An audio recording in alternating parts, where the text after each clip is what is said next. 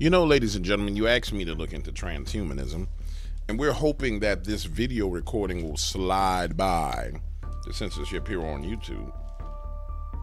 And so immediately when I sit down, I start to question ChatGTP as it pertains to where did the whole overarching philosophy of transhumanism come from? And I'll show you what it gave me. But I went and I did a little bit more research than this, but I don't have no problem showing you. Um, and so they start to talk about Frederick Nietzsche and the Ubermensch, Overman, and Superman, and transcending the uh, traditional morality of men. At, on a scale of one to ten, I'm going to say this to you. As I went back and quickly turned on the audio of his books, and put it up to 2x speed and started listening to what he had to say, I'm listening to this man's philosophies via his writings, and I'm quickly coming to understand that this man was a struggling individual. And and I said, hold on, there's got to be a better way for me to figure out what really happened with him because this is the internet. So I go get a synopsis of it, of his actual work, and listen to it.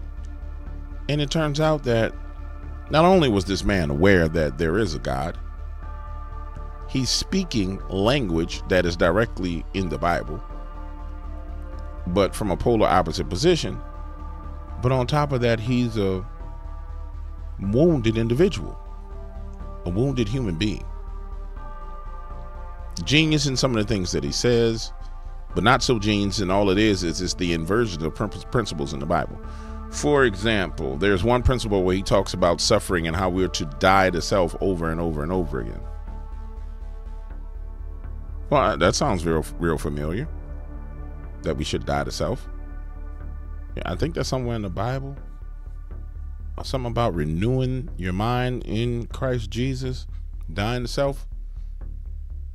And so I'm sitting here and I come to realize something real quick, real fast, and in a hurry all the times that we've listened to people like Yuval Harari, all the times that we listen to people like uh, Klaus Schwab and all these other people, this is just one big cult.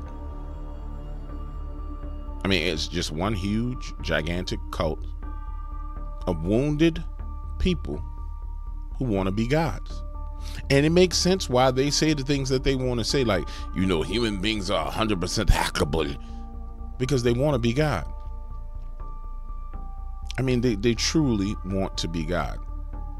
Remember, Klaus, I gave you guys a video where Klaus Schwab was talking in front of people and he said, you know, uh, you are the leaders of the future. You shall be the leaders. Many of you will take these shots, and some of these shots will extend your life, and you can look forward to being able to upload yourself to the cloud and live forever. And your career span will last much longer. I don't know how many of you guys saw that video but we covered it in one of these series that we were on. It's a sad thing when humans want to be God.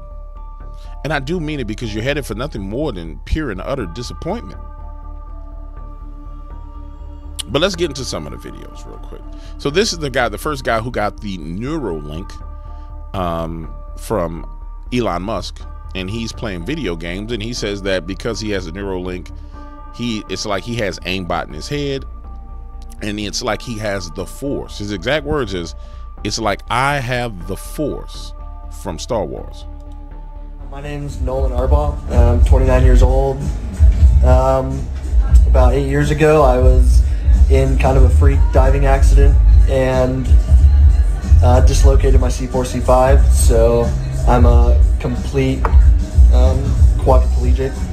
Uh, so I'm paralyzed from below the shoulders. I love playing chess, and so this is one of the things that y'all have enabled me to do, something that I wasn't able to really do much the last few years, especially not like this. Um, I had to use like a mouse stick and stuff, but now it's all uh, it's all being done with my brain. If y'all can see the cursor moving around the screen, that's that's all me, y'all. Um, It's pretty cool, huh?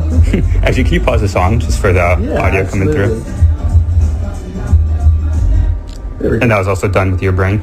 Yep. It's, it's all brain power up there. So a lot of what we started out with was attempting to move. So I would attempt to move, say, my right hand, left, right. I think it just became intuitive for me to start imagining. Now I'm gonna stop right here and I'm gonna say this. And I think you need to understand this. I apologize. I didn't mean to click that.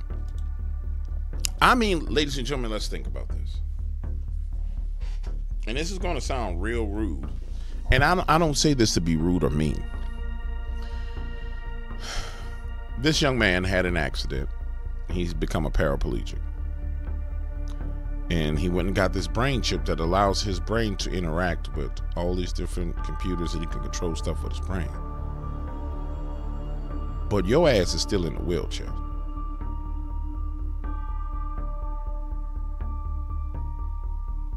Let that sink in. I really want you to let that sink in. I mean, think about it. Yes, you can move stuff with your brain but you don't have no mobility. And this is the gift that they gave you? Oh, I used to have to move stuff with my mouth. Now I can move stuff with my brain. That's the gift that they gave you. Is to move stuff with your mind. But your mind, the chip that tapped into your mind can't connect to your nerves and make your legs move. Or your arms move or your hands move. Does that make any damn sense to you? I mean, I'm serious. Does that make any sense to you? Just just ponder that question.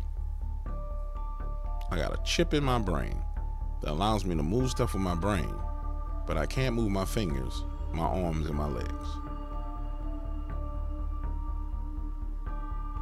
This is what you present as transhu- transhumanism?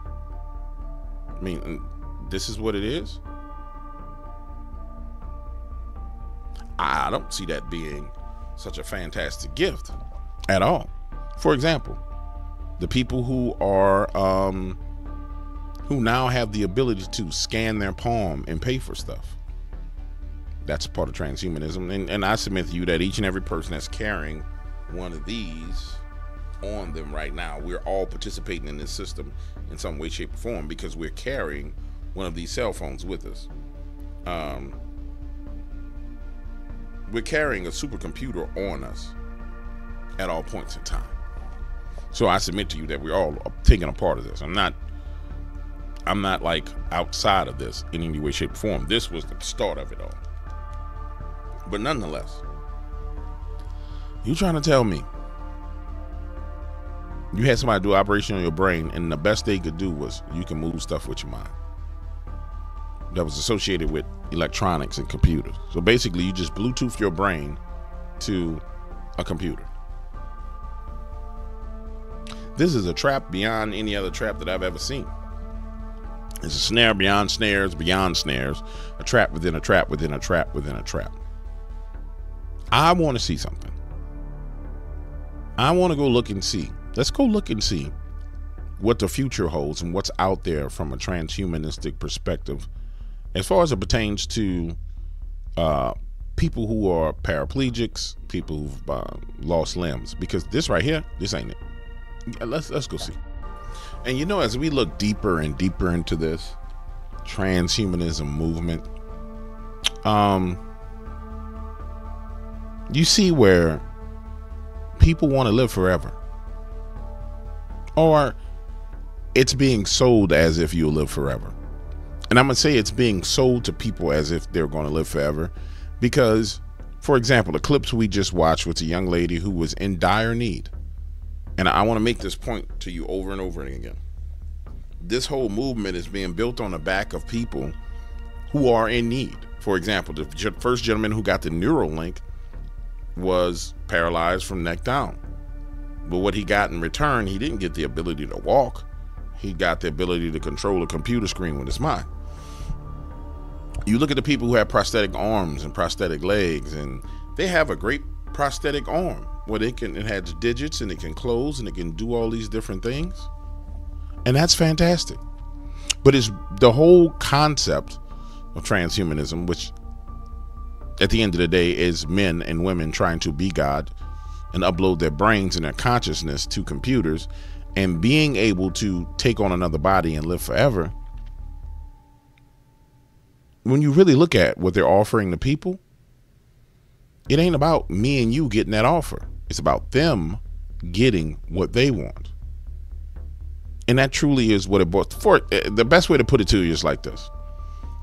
If you believe for one moment that there's no cure to diabetes, there's no cure to cancer, there's no cure to the basic ailments of society, then you are gravely mistaken. Let's take the drug that came out that's a weight loss drug that just recently came out that hit the marketplace. How long has that weight loss drug been available to people prior to it being made on the market for you? The one that uses the the Komodo dragon uh, peptides, lizard peptides. Remember I talked to you guys about that? How long has that discovery been available? And it just became public.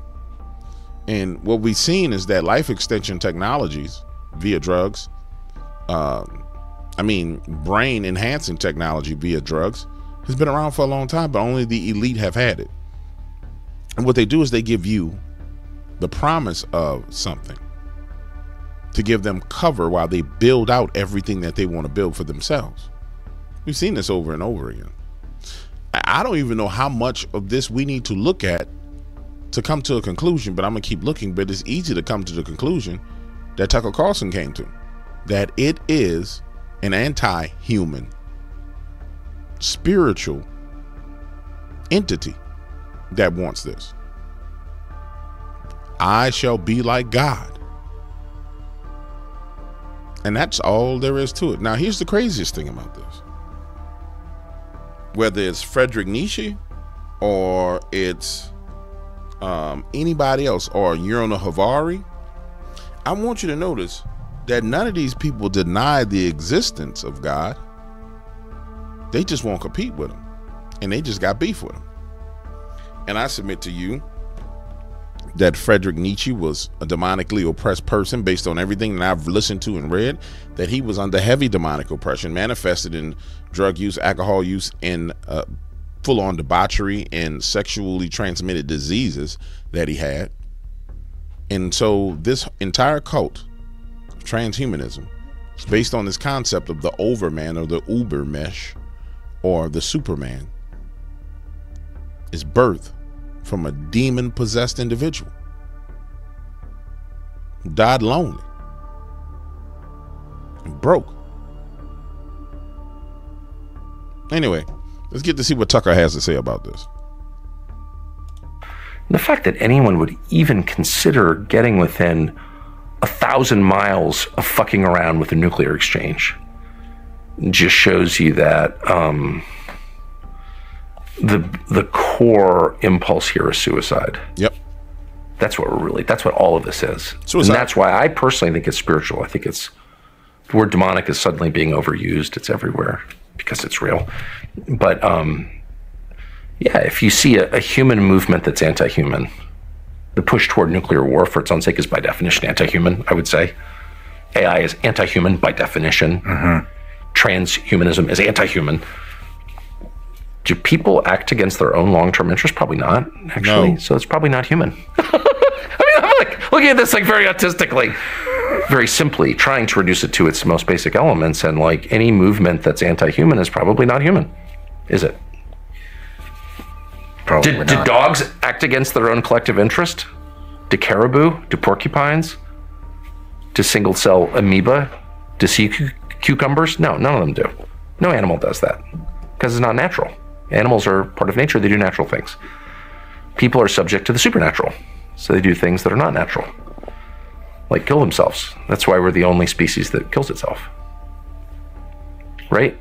So when you kill yourself, whether slowly or all at once, you're being acted on by forces outside of you, spiritual forces. It's really that simple. Honestly, it's really that damn simple.